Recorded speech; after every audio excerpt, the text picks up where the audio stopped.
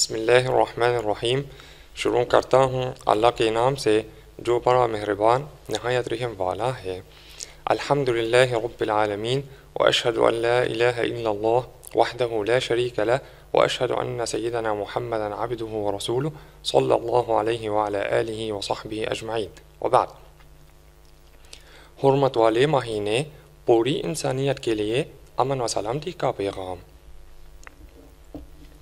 اللہ تعالیٰ کا اپنے بندوں پر یہ فضل ہے کہ اس نے ان کے لیے خیر و برکت کے کچھ موسم بنائے ہیں، جن میں وہ ان کے نیک کاموں پر دگنا اجر دیتا ہے اور ان کی برائیوں کو مٹا دیتا ہے۔ ارشد باری ہے، وَذَكِّرْهُمْ بِأَيَّامِ اللَّهِ۔ انہیں اللہ کے دنوں کی یاد دلائیے۔ اور ارشد نبوی صلی اللہ علیہ وسلم ہے تمہارے انہی دنوں میں سے کچھ دن ایسے ہوتے ہیں جن میں اللہ کی برکتیں نازل ہوتی ہیں۔ لہٰذا انہیں حاصل کرنے کی کوشش کرو۔ ہو سکتا ہے انہیں حاصل کر ہی لو، جسے وہ مل گئیں، اس کا نصیب کھل جائے گا۔ انہی ایمانی موسموں میں حرمت والے مہینوں کا بھی موسم ہے۔ اسی کی طرف اللہ تعالیٰ نے اپنے اس قول میں اجمالی طور پر اشارہ کیا ہے إن عدة الشهور عند الله اثنا عشر شهرا في كتاب الله يوم خلق السماوات والأرض منها أربعة حرم. ذلك الدين القيم. فلا تظلموا فيهن أنفسكم. مہینوں کی گنتی اللہ کے نزدیک کتاب اللہ میں بارہ کی ہے۔ اسی دن سے جب سے اس نے آسمان و زمین کو پیدا کیا ہے، ان میں سے چار حرمت و ادب کے ہیں۔ یہی درست دین ہے۔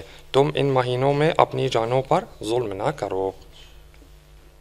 اور اسی کو نبی نبی کریم صلی اللہ علیہ وسلم نے حجت الوداع کے خطبہ میں تفصیل کے ساتھ بیان کیا ہے۔ ارشد نبوی ہے۔ سن لو، وقت اپنی اسی طرز پر پھر گیا ہے، جس طرز پر اس وقت تھا جب اللہ نے آسمان و زمین پیدا کیے تھے۔ سال میں بارہ مہینے ہیں، جن میں سے چار حرمت والے ہیں، تین تو پے در پے ہیں ذوالقیدہ ذوالحجہ اور محرم۔ اور چوتھا مضر والا رجب کا مہینہ ہے، جو کہ جمعہ اور شابان کے درمیان ہے۔ حرمت والے ان مہینوں کا اللہ تعالیٰ کے نزدیک بہت اونچا مقام ہے۔ اور اس کے نزدیک ان کی بڑی عزت و حرمت ہے۔ ان کا نام حرم یعنی حرمت والے اس لیے ہے کیونکہ ان کی بڑی حرمت ہے۔ اسی وجہ سے شریعت نے اس میں قتل کرنے کو اور اس کی حرمت پامال کرنے کو بہت بڑا جرم گردانا ہے۔ ارشد باری ہے يسألونك عن الشهر الحرام قتال فيه قل قتال فيه كبير لوگ آپ سے حرمت والے مہینوں میں لڑائی کی بابت سوال کرتے ہیں۔ آپ کہہ دیجیے کہ ان میں لڑائی کرنا بڑا گناہ ہے۔ لہذا حرمت والے مہینے اپنے دامن میں پوری انسانیت کے لیے سلامتی کا پیغام لیے ہوئے ہے کہ اسلام امن و شانتی کا مذہب ہے اور سلام تو اللہ تعالیٰ کا ایک نام ہے۔ جیسا کہ ارشد باری ہے هو الله الذي لا إله إلا هو الملك القدوس السلام.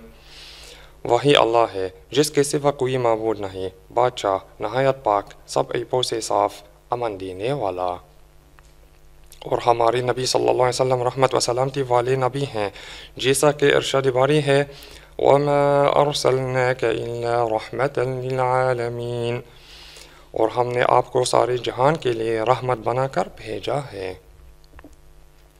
ہمارے نبی صلی اللہ علیہ وسلم ہر نماز کے بعد یہ دعا مانگا کرتے تھے، اے اللہ، تو سلامتی والا ہے اور تجھ سے ہی سلامتی ہے۔ اے جلالت و تعظیم والے رب، تیری ذات مبارک ہے۔ اسلام جنگ کرنے یا پھر خون بھانے کی رغبت نہیں دلاتا ہے، بلکہ جہاں تک بن سکتا ہے، وہ اس سے روکتا ہے، وہ امن و سلامتی کو محبوب رکھتا ہے اور اسی کی تاکید بھی کرتا ہے۔ جیسا کہ ارشد باری ہے، وَإِن جَنَحُوا لِلسَّلْمِ فَجَنَحْ لَهَا وَتَوَكَّلْ عَلَى اللَّهِ إِنَّهُ هُوَ السَّمِيعُ الْعَلِيمُ۔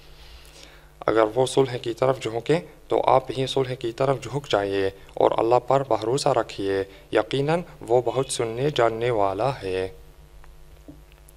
اسی سلسلہ میں ارشد نبوی صلی اللہ علیہ وسلم ہے، دشمن سے پھرنے کی تمنا نہ کرو، بلکہ اللہ سے عافیت مانگا کرو، اور جب ان سے متبھیر ہو جائے تو صبر کر لیا کرو۔ اسلام کا پیغام امن و شانتی کا پیغام ہے۔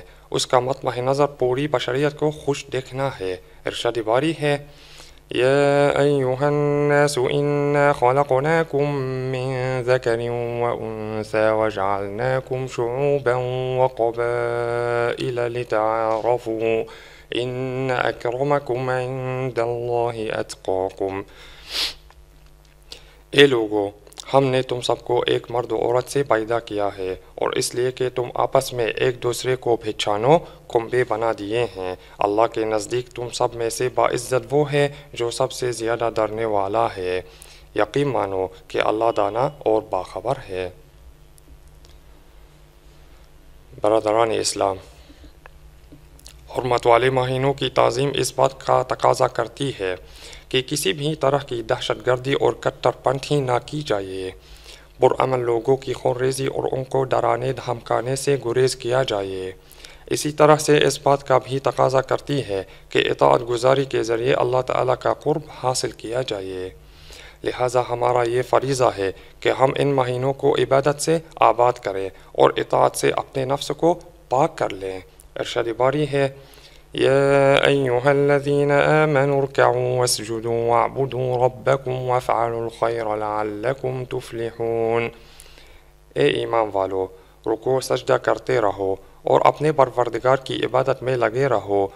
اور نیک کام کرتے رہو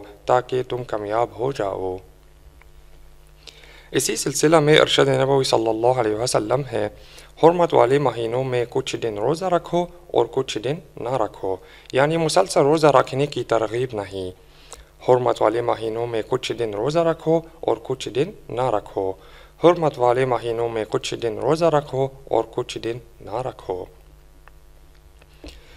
انہی مہینوں میں ایک رجب کا مہینہ بھی ہے۔ اس کا نام رجب اس لیے ہے کیونکہ یہ ترجیب سے بنا ہے، جس کا معنی ہوتا ہے تعظیم۔ اور اہل عرب اس کو اسم یعنی بہرا کہا کرتے تھے، کیونکہ وہ اس میں جنگ کی آوازیں بالکل بھی بالکل بھی نہیں سنتے تھے۔ یہی وہ مقدس مہینہ ہے جس میں ہمارے نبی صلی اللہ علیہ وسلم کا معجزہ اسراء اور معراج کو بذیر ہوا۔ یہ مہینہ خیر و برکت والے مہینوں کی کنجی ہے۔ حضرت ابو بکر ورق بلخی رحمہ اللہ فرماتے ہیں، رجب، فصل کی بوائی کا مہینہ ہے، شعبان اس فصل کی سچائی کا مہینہ ہے اور رمضان اسی فصل کی کٹائی کا مہینہ ہے۔ کتنا اچھا ہوتا، اگر ہم ان مقدس مہینوں کو طاعت الہی میں کچھ اس طرح سے گزارتے کہ ان میں زمین کی آباد کاری کرتے، اپنے کام کو اچھی طرح انجام دیتے، خیرات کی کثرت کرتے، حقوق کو کھانا کھلاتے آپسی بھائی چارے اور باہمی محبت کی روح کو زندہ کرتے جیسا کہ ارشد نبوی صلی اللہ علیہ وسلم ہے اللہ کے نزدیک لوگوں میں سب سے زیادہ محبوب شخص وہ ہے جو اس کے بندوں کے حق میں سب سے زیادہ نفع بخش ہو۔ اور اس کے نزدیک سب سے زیادہ پسندیدہ عمل یہ ہے کہ آپ کسی مسلمان کی پریشانی کو دور کر کے یا اس کے سر سے قرض کا بوجھ اتار کے یا پھر اس کی بھوک مٹا کے اس کا دل خوش کر دیجیے۔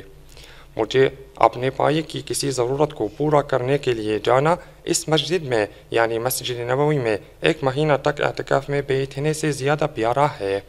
اگر کوئی شخص کہیں پر اپنا غصہ نکالنے پر طاقت رکھنے کے باوجود اس کو پی جاتا ہے، تو اللہ تعالیٰ قیامت کے دن اس کے دل کو اپنی رضا سے بھر دے گا۔ جو شخص اپنے بھائی کے ساتھ صرف اس کی حاجت پوری کرنے کے لیے چلے گا، تو اللہ تعالیٰ اس کو اس دن ثابت قدم رکھے گا، جس دن اچھوں اچھوں کے قدم دگمگا جائیں گے۔ اے اللہ، رجب و شعبان میں ہم پر اپنی برکتیں نازل فرما اور ہمیں ماہ رمضان عطا فرما۔ آمین۔